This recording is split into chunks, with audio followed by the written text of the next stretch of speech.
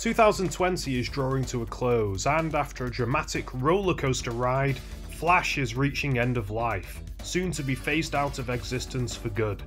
It's hard to think of a piece of software quite as divisive as Flash. Before the omnipotent age of social media, Flash ruled the web. A piece of software that allowed for interactive content to be embedded on websites. It was everywhere 15 years ago, and it helped to spawn internet culture and meme culture as we know it today. It was an easy to use tool that allowed creatives to share their own videos and games in a convenient way. But it was also a security risk, a performance sloth, and an attention hog that bugged users for constant updates.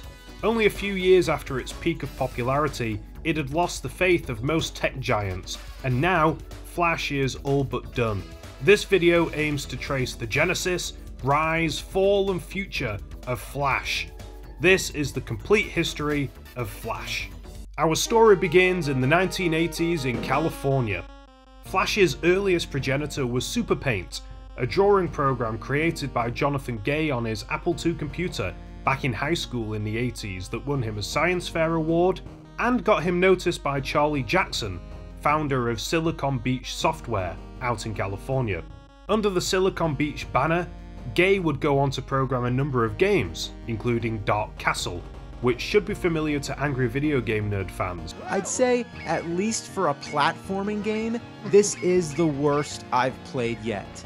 And out of all the shit I've played, that's saying a lot. A commercial version of Super Paint would release in 1986, followed by Super Paint 2 in 1989. Silicon Beach Software were acquired by Aldus in 1990, and at Aldus, Gay would work on Superpaint's successor, IntelliDraw, a vector-based graphics application. In 1993, Gay went rogue, founding the company Futurewave Software along with Charlie Jackson. Their first major release was Smart Sketch, a forward-thinking drawing application designed for Go Corporation's PenPoint operating system, an OS designed for tablets that used a stylus. Smart Sketch was, unfortunately, a complete disaster, as Go was acquired by AT&T who brought a halt to any touch-operated OS plans. A port for Smart Sketch was developed though for Windows and Mac computers, their next product, Smart Sketch Animator, later renamed Future Splash Animator, supported animation, added interactive elements like buttons, and was designed with the web in mind too. Future Splash went to market in August 1996 and gained its first big proponent when Microsoft decided they'd use it as an integral component of their new MSN web portal.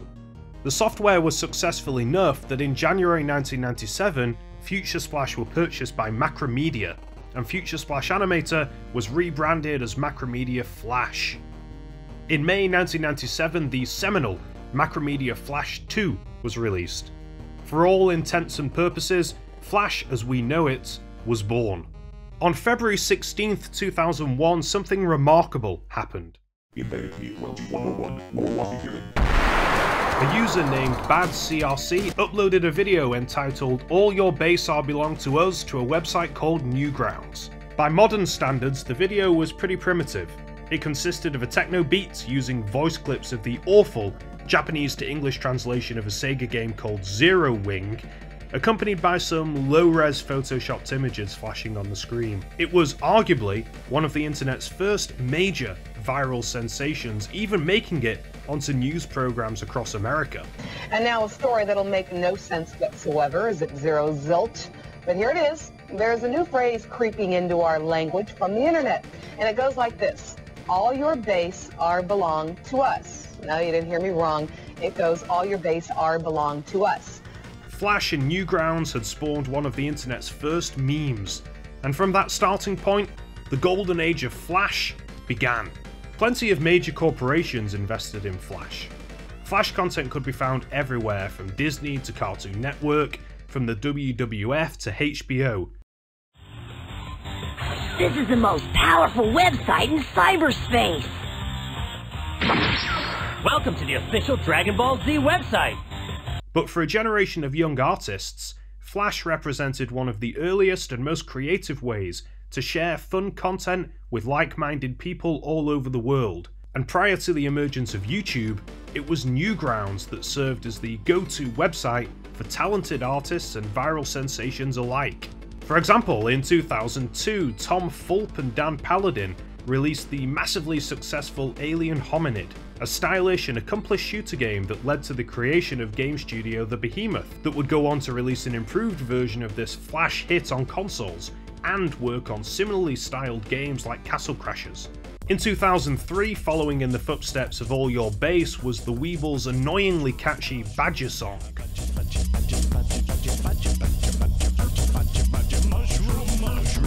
2004 brought us perhaps Newgrounds' biggest viral sensation, in the form of G-Man 250's immensely popular Numa Numa dance video, as well as David Firth's disturbing but hilarious creation Salad Fingers. And in 2006, Egoraptor uploaded the first handful of his insanely successful awesome series of video game parodies, while Alvin Earthworm's first installments of Super Mario Bros. Z rocked the site. Of course, there's plenty more that I'm not mentioning, and post 2006, Newgrounds would continue to spawn new, successful games and animations.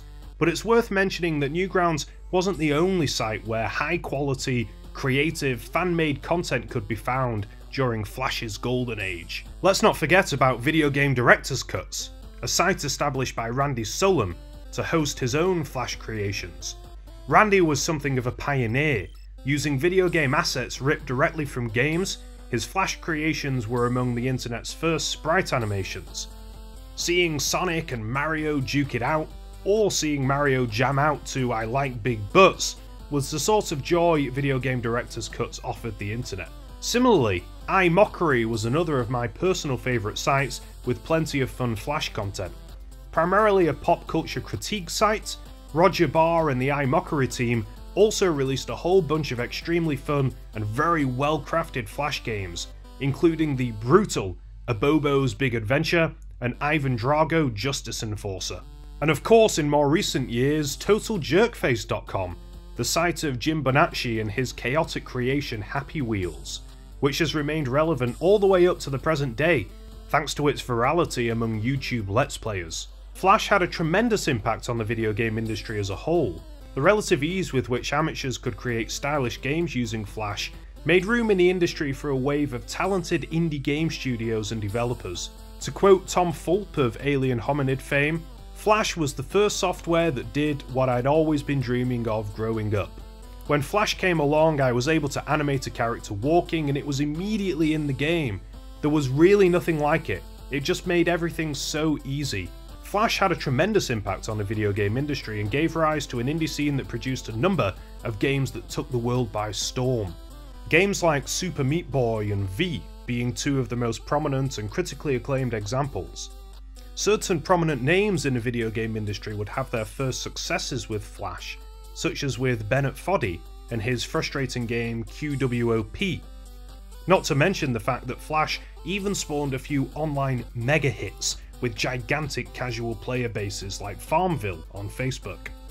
You could even argue that games like Angry Birds and Clash of Clans largely owe their existence to the Flash game scene, from whom many of their gameplay mechanics and visual stylings derive. In terms of websites, there's one more site that relied heavily on Flash that we haven't mentioned yet YouTube. Just like just about every other site that featured video content at the time, YouTube opted to utilize Flash to handle video playback back when the site first launched in 2005. It wasn't long until YouTube ascended to become one of the most visited websites in the world and all of its plumbing and heavy lifting was done by Flash. If Flash was so popular, then why exactly did it experience a sharp decline leading to its virtual extinction on the internet? When did this decline begin? When did the golden age of Flash end? A common answer is 2007.